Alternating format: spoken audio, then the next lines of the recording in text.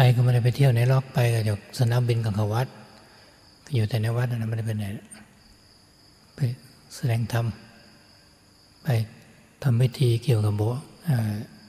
ตรุนิมิต เป็นวินัยกรรมของพระนั่งพระสงฆ์ให้เกิดสงฆ์ด้วยสมมติเห็นไหมเราฝึกหน้าเกตวัน นักกระบวชอีกหนึ่งชั่วโมงก็เป็นพระสงฆ์ละ เป็นพระสงฆ์โดยสมมุติแหละ เป็นที่ยอมรับนะของคณะสงฆ์เป็นที่ยอมรับของประชาชน ว่าอันนี้เราเป็นพระสงฆ์ก็มีความเคารพเริ่มใสตอนนี้เราต้องทำพระสงฆ์ให้เกิดขึ้นอีกครั้งหนึ่งในใจในการปฏิบัติในการปฏิบัติเกิดขึ้นในการปฏิบัติธรรมะให้มีธรรมะ เรื่องของวินัยกรรมก็คือให้มันดูมันก็เป็นสมมติที่มันสมบูรณ์หรือศักดิ์สิทธิ์นะมีโบสถ์มีการสวดถอนมีการสวดสมมตินะเป็นสถานที่ที่จะลงสังฆกรรม หรืออุสมบท ตามพระวินัย เพราะฉะนั้นโบสถ์หลังหนึ่งต้องบรรจุพระได้นะอย่างน้อยก็ในยี่สิบเอ็ดองค์แล้วแหละ ปกติก็มาตั้งยี่สิบห้าองค์ เพราะว่าสวดสมุสิมาต้องพระยี่สิบห้ารูปเนี่ยใช้พระยี่สิบห้ารูปจะบทเล็กบทใหญ่ก็ตามต้องใช้พระยี่สิบห้ารูปอย่างน้อยในการสวดสมุติที่จะเป็นบสถ์เป็นที่ทำสังฆกรรมเนี่ยเพราะอย่างเราในสังฆกรรมนี่ตามที่เรามีลูกนิมิตเนี่ยตามไปเสมาเนะ ถ้าเป็นโบสถ์สองชั้นนี่ก็เป็นสังฆกรรมได้ทั้งหมด น่าจะไปไปอุปสมบทชั้นล่างก็ได้ เป็นสังฆกรรม แต่ถ้าเกิดเราสวดอยู่ชั้นบน ในระหว่างเราสวดนาคอยู่มีพระอยู่ข้างล่างไม่ได้กรรมนั้นจะใช้ไม่ได้เลย ต้องสวดใหม่ นี่เป็นเรื่องของสมมุตินะเพื่อให้เกิดความสมบูรณ์ ต่อจากนั้นไปก็ต้องปฏิบัตินะตามพระวินัย ครอบในพระวินัย แล้วก็พิจารณาให้จิตของเราสงบให้ได้ จุดมุ่งหมายเพื่อเกิดความรู้ ความเข้าใจ อย่างชัดแจ้งนะในนูปนามนะเพราะฉะนั้นก็ เราก็ตั้งใจนะ พิจารณาให้จิตของเรา ไปสู่ความสงบให้ได้นะเราจะรู้จักว่าความสงบเป็นอย่างไรก็ต้องพยายามมีความเพียรนะมีความตั้งใจในการปฏิบัติทำวัดเช้าวัดเย็นเดินโยกมนั่งสมาธิ ปฏิบัติให้ต่อเนื่องนี่แหละเพราะว่าสภาวะจิตเดิมเนี่ย ท่านบอกว่าเป็นพระพัสสอนพระพัสลัง จิตตังพระพัสลังก็มีความหมายว่าสภาพจิตที่ยังไม่มีอะไรมาปรุงแต่งนะไม่มีอะไรมาปรุงแต่งให้เกิดกิเลส แต่ว่ากรรมประพัสสอนตัวนี้ยังไม่ได้บริสุทธิ์ หลุดพ้นอะไร เป็นประพัสสอนแบบธรรมชาติ แต่เมื่อจิตเนี่ย รับรู้อารมณ์ขึ้นมาแล้ว ความประพัสสอนนี่มันก็จะหายไปเพราะจิตเกิดความหลง ความยึดมั่นถือมั่นขึ้นมานั่นแหละเมื่อเราทำจิตให้สงบได้นั่นแหละนิวรณ์นิวรณ์ธรรมก็คือความง่วงก็ดีความโกรธพยาบาท ความรักความชังฟุ้งซ่านลังเลสงสัย มันไม่มีในใจ จิตก็เป็นสมาธิ แต่สมาธินี้มันไม่ได้อยู่นานนะมันเสื่อมลงมาแล้วมันก็มารับรู้อารมณ์ก็มายึดถือในอารมณ์อีก ก็กิเลสอีก และเมื่อสัมผัสเกิดขึ้นบ่อยๆ ถ้าสติเราไม่ทันมันก็หลงบ่อยๆนะมันก็เป็นกระบวนการของวิชาทันหาอุปทานที่มันหมุนเกิดขึ้นอยู่เสมอนั่นแหละนำมาปฏิบัตินี่ก็ต้องมามีสติ รู้เท่าทันอารมณ์ รักษาจิต ของเราไม่ยินดีไม่ยินร้าย เป็นจุดมุ่งหมายที่หลวงพ่อชาสอนมาตรงนี้ เราจะได้เห็นธรรมะ หรือเราจะได้บรรลุธรรมะ ก็ตรงจิตของเราปล่อยวาง ไม่ยึดมั่นถือมั่นนะในรูปในนาม นี่บางเราก็รู้อยู่ว่า จิตมีราคะ มีโทสะโมหะแต่จิตของเรามันไม่ดับ ราคะโทสะโมหะมันไม่ได้ดับไป แสดงว่ากำลังสติของเราที่รู้มันอ่อนต้องมาเพิ่มกำลังสติ เพิ่มกำลังสมาธิ ความตั้งมั่นของใจให้มันได้นับปัญญามันเกิดขึ้นมันถึงจะรู้ได้ ถึงแม้ว่าเราตามจะตามดูจิต แต่ถ้าเกิดว่า สติของเรามันไม่พอ มันจะปรุงแต่ง สมัยก่อนก็มีครับนักปฏิบัติ มันจะเถียงกันเลยแหละ ก็ดูจิตในดูจิตไปแล้วจิตมันไม่หยุดอะ มันก็ปรุงแต่งปรุงแต่งก็มีแต่อารมณ์มันก็แหละ แต่ก็รู้อยู่ จิตมีราคะโทสะโมหะแต่มันไม่หยุดเนี่ยเรามารถมันวิ่งแล้วเราเบรกไม่หยุดอย่างเงี้ยมันลื่นเนี่ย แสดงว่ามันอันตราย เราก็ต้องเพิ่มสกำลังสติให้มันมีกำลังมากขึ้น เพิ่มกำลังสมาธิให้มันมากขึ้นในการปฏิบัติ พิจารณาถึงจะหยุด ความปรุงแต่งของจิตได้มันจิตนี่มันชอบใจมันก็จะปรุงไป ไม่ชอบใจมันก็จะปรุงนะเพราะมันหลง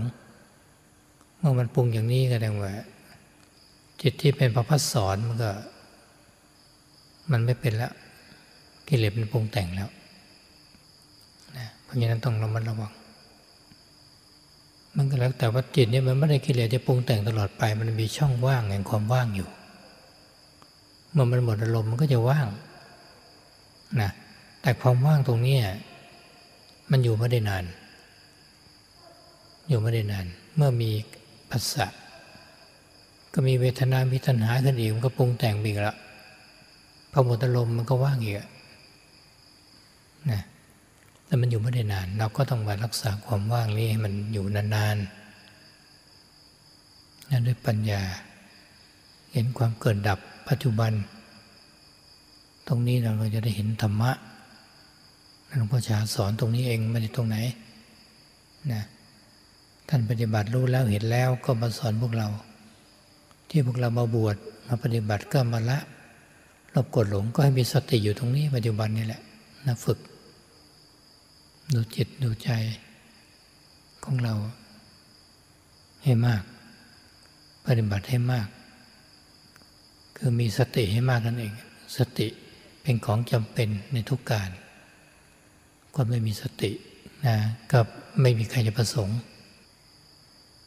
เพราะฉะนั้นให้ฝึกจิตของเราให้รวมมา ให้สงบให้ได้ ในเบื้องต้นมันก็ยากลำบากทุกสิ่งทุกอย่าง ต้องอดทนนะต้องอดทนในการปฏิบัติต้องมีความเพียรต้องอดทนนะมีวิริยะวิริยะลำพะปารบความเพียรอยู่เสมอเมื่อเรามีความเพียรด้วยมีปารบความเพียรด้วยทำให้ต่อเนื่องด้วยนั่นแหละนั่นสมาธิถึงจะตั้งมั่นได้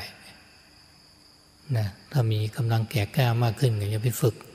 ป่าช้าป่าชัดนะมีกำลังมากขึ้นอีก ก็เพื่อให้จิตสงบเมื่อจิตสงบแล้วมาพิจารณาในกายมันก็จะรู้เรื่องอะเห็นแจ้งชัดในกาย เป็นภาวนามยปัญญาปัญญาเกิดขึ้นที่เวลาปัญญามันจะเกิดขึ้นเนี่ยมันก็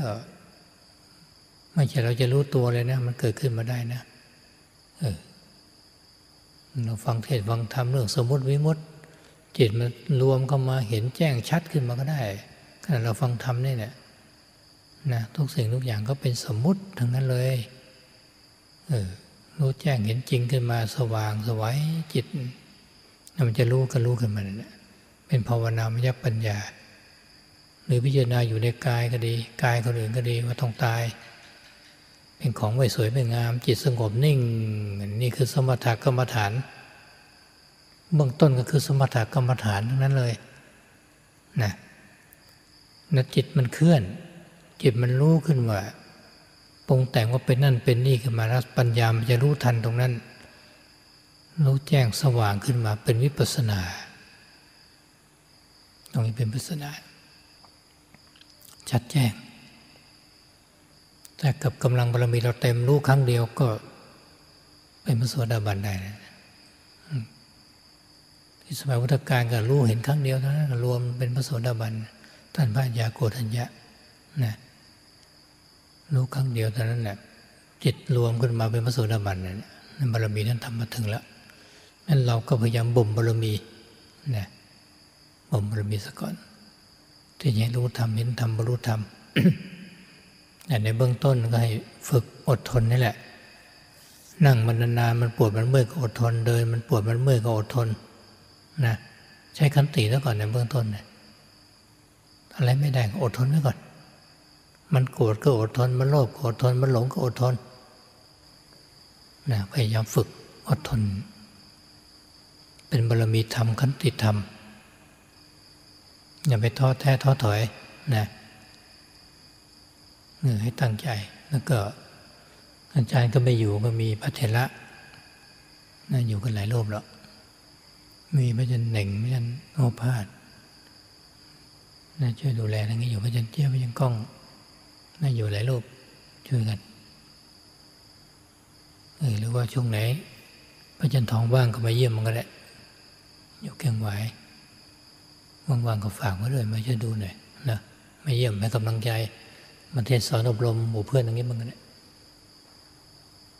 ให้ตั้งใจ